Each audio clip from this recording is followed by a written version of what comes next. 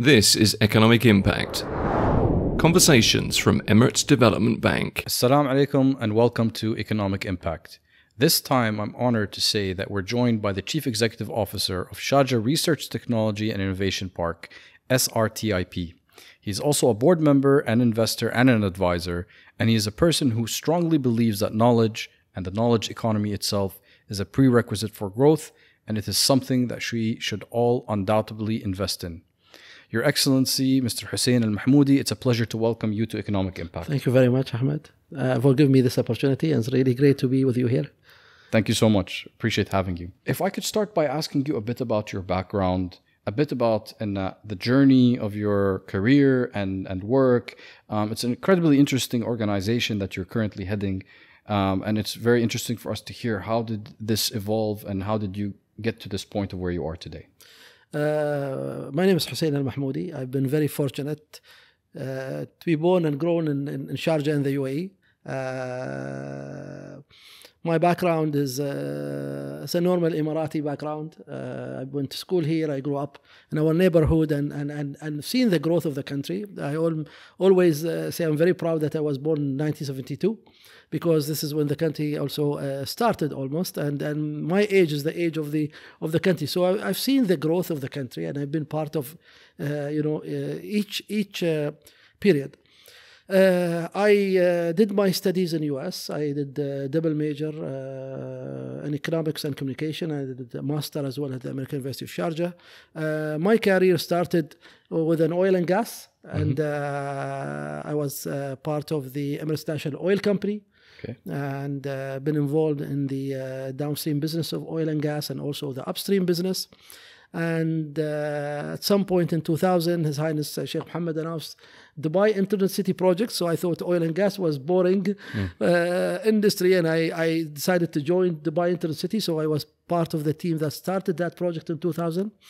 Of course, it was an exciting uh, project because it's really uh, presented the new economy right uh, in the UAE. So we started with Dubai Internet City, and then there was a Dubai Media City, and then also the Knowledge uh, Hub. Right. Uh, in two years, I thought uh, technology is uh, too volatile, and I decided to go back to oil and gas. So I, I was right. part of the Royal Dutch Shell spent eight years there doing uh, different type of work from health safety security and environment to business development for both upstream and downstream business. Of course part of a being being part of a global company gave me a, a global perspective uh, and working with different stakeholders and from there I was uh, asked to uh, join the Chamber of Commerce in Sharjah. So I was Director General of the Chamber of Commerce uh, in Sharjah for nearly eight years, uh, developing different uh,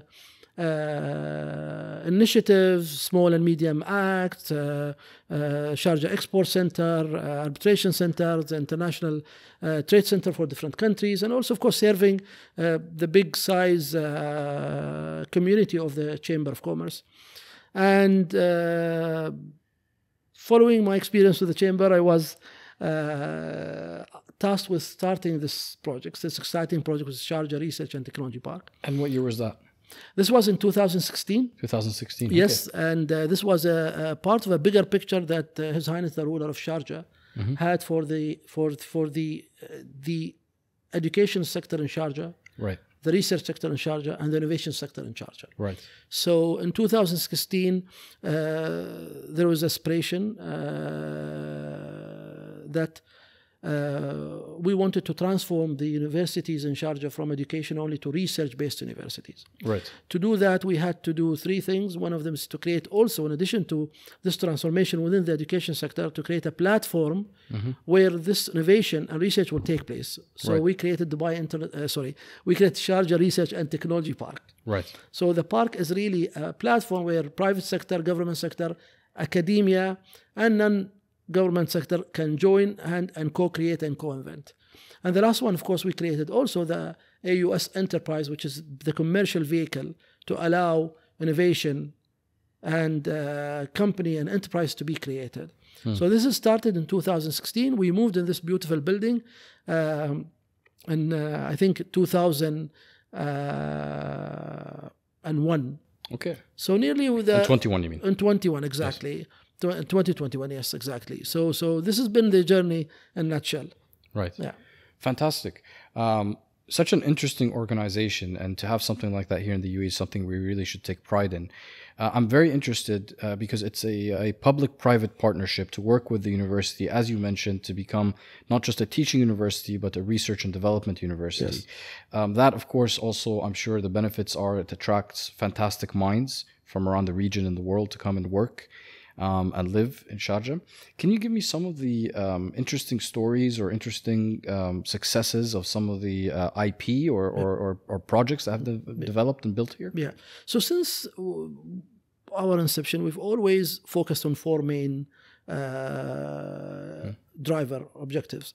Number one, we wanted to create the best ecosystem that allow technology enterprises, startup to thrive, and we wanted to create a, a holistic infrastructure which not only just focuses on the hard infrastructure, the building and the lab, and but also the soft infrastructure, including policies, legislation that are fit for purpose. So that was the first driver. The second was talent.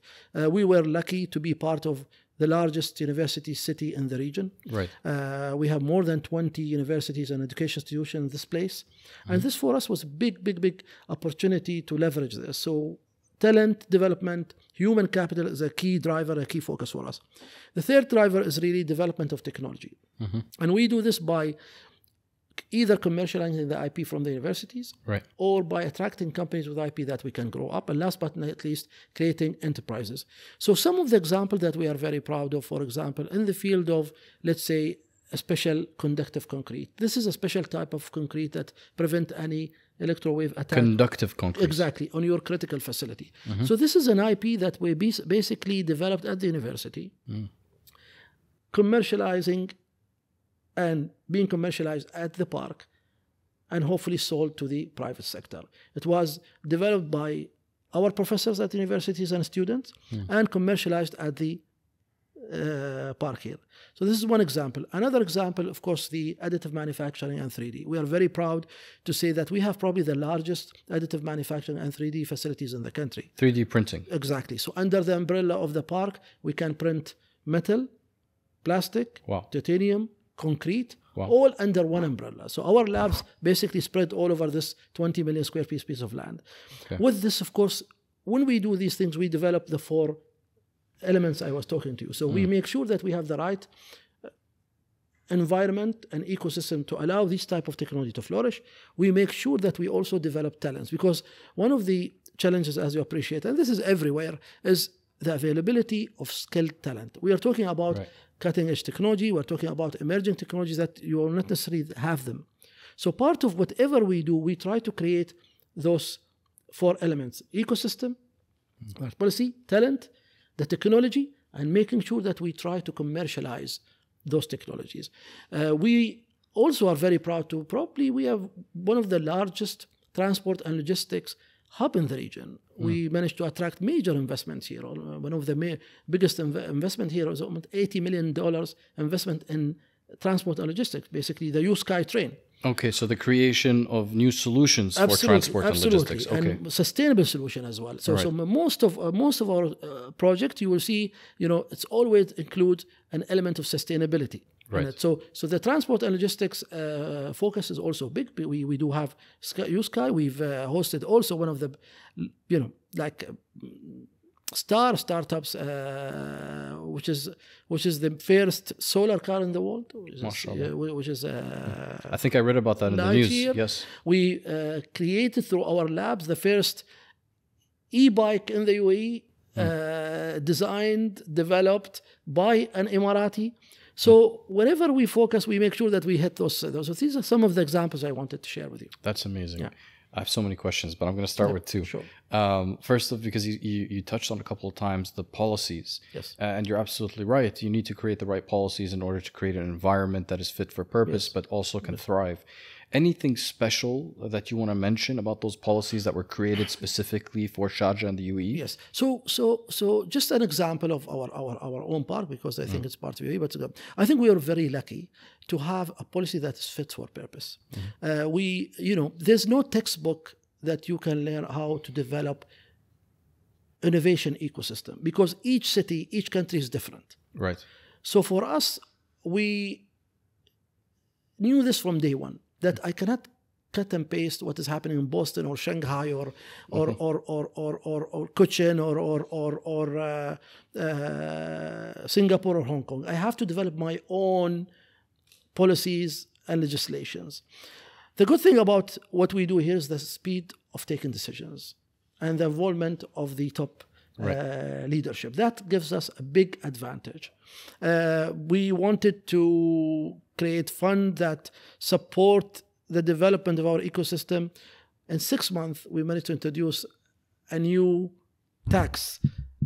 Basically, it was called an innovation dirham tax that will allow and, and, and promote and enable startups and, and, and, and R&D activities to happen here. So we change the whole policy. Uh, the registration of companies and the way that we do them here is, is, is very fast. Uh, the, the, the, the whole incubation ecosystem and the policies we have supports the uh, uh, drive that we're trying to achieve. Amazing.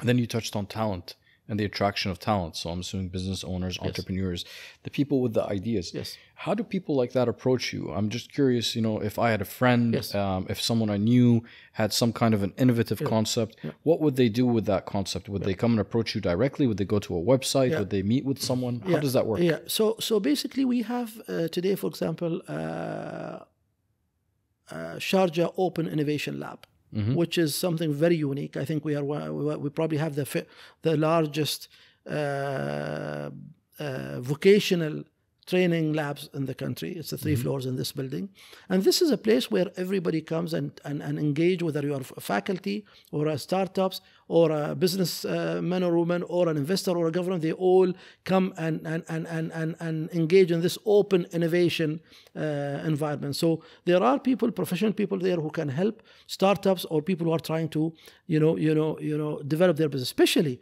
in, in deep tech. Uh, so this is one way. The other way is also- also we go and identify those people. Of course, we run different programs like our Sharjah Advanced Industry Accelerator. It's been running for the past now four years. We are very proud of it. We we get almost 5,000 applicants every year.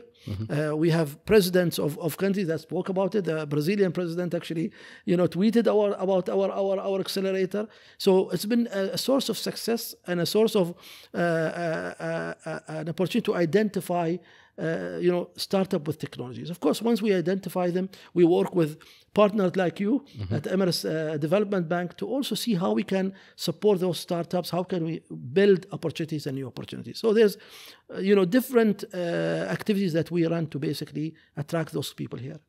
Of course, the university is a big source for us. So, so, so we also engage with universities Right. through different uh, hackathons and different activities to basically try to attract startups as well and talents. Would you say that um, what, as a percentage of the uh, people that work, uh, or let's say the companies that are attracted to work within the uh, the research park, the research innovation park, um, how many are fresh graduate university students, and how many are let's say established entrepreneurs that are doing businesses? Is a is there a skew towards one one segment versus the I other? think I think I think ninety percent those are established companies. are established. Okay. Established companies, and I think ten percent are, are our students. However, Mm-hmm. we are trying to increase that by working with great partners like Sheraa, Right. like Ruwad, like Emirates Development Bank, Right. and create the framework that will allow more students to take the steps. As you appreciate, there are a lot of structural uh, environment that we have to create to allow those students, professors, to be part of the business community. It has to do with their visas, it has to do with their work, it has to do with their contracts, etc., etc., etc. But we are working on it now, and we're working with Sheraa on, on, on encouraging students to come and make it easier for them to be able to start their businesses as well. Right. Yeah. Right. What about the future? Um, there's so much that's happening today, so much that's been done over the uh, past uh, eight years since your establishment, um, and it sounds like you know some fantastic things have been have been happening. How do you foresee the future um, for the uh, Research uh, Technology Innovation Park? Um, do you see more commercialization of the concepts and the businesses? Are you uh, income generating today, and and is there a plan for this to become the the development hub of new sectors for Sharjah for the future? It sounds to me very much like the incubation of these sectors is happening here. Sure, sure. We have to, to remember the Sharjah Research and Technology Park is an integral part of the UAE agenda and UAE vision. Right. Uh, the country has identified innovation as a key uh, driver for its growth and knowledge economy. We can see this in Abu Dhabi, we can see this in Dubai, we can see this in Sharjah and elsewhere. So we are part of that big picture. And the the the the park basically is an economic driver of the new economy. Uh, how do we see this? We are part of the big topics, whether we're talking about artificial intelligence, we have our own AI hub here that we are trying to grow. Uh, one thing that I, we're very proud, of, we are probably one of the, we host here the first uh, fully sustainable data center and high performance computing facilities in the region. It's probably the numbers, and that's all private investment. Hmm. So how do we see this? We see this by identifying and working with emerging technology, where we're whether we're talking about AI, or we're talking about transport and logistics, or we're talking about healthcare or advanced manufacturing. Mm-hmm. And we work by developing a private public partnership by engaging the private sector. One thing that we are very proud here is most of what you see is all private sector investments. Okay. So almost 100%. Other than the building, everything you see here is private all sector. private sector. Whether we're talking about the high performance computing facility or the 3D printers or the VR, AR, uh, mixed reality uh, labs we have, it's all private Can you tell us what is that amount over the eight years? Almost Private uh, sector? 100 million dollars. Okay, mashallah. Almost 100 million dollars. And research activities. Research, That's the difference. Transport hub alone is 80 million dollars. Okay, wow. testing next generation train technology in UAE hmm. here. Hmm. So so so the the the future is very bright because you know when we see UAE, UAE is today is is, is a haven for all uh, technologists in the world. Mm-hmm. People come here because they know that they can get talents. They know that they are protected. They know that we have policies that en- uh, uh, enabler of, of, of, big businesses, and they know that there's also money here that they can start their businesses. So we are we are creating an environment to basically attract them and, and grow these companies and take them hopefully to the world. Fantastic. And any plans or any major objectives for the future over, let's say, the next five to 10 year horizon? Absolutely. So so we are at the moment uh, just actually finalized our our strategy. Uh, I believe uh, 2023 was the end of the first phase of this park. So we have established the basic, the brand, the community, the ecosystem. Going forward, you will see more uh, focus on industries and more interaction with industries. Going forward, you will see more focused on uh, universities, IP, and commercialization. And going forward, you'll see more uh, focus on making sure that our ecosystem more competitive, whether the availability of funds, working with, with different financial institutions like yourself and others. So, and of course, focus on talent as well. Fantastic. Mr. Hussain Al Mahmoudi, thank you so much for your time today. It's much appreciated. We wish you the best of luck on your journey, and we will be there, inshallah, with you as Emirates Development Bank, Inshallah. step by Thank step, you, inshallah. Mr. Ahmed, and uh, congratulations on today's events. And uh, and really, I, I I I I enjoyed our discussion today, and I look forward to also working with you and also working with your audiences and and and and and, and basically building great future together. Inshallah. Inshallah. Thank you so Thank much. Thank you very much. Economic Impact. Conversations from Emirates Development Bank.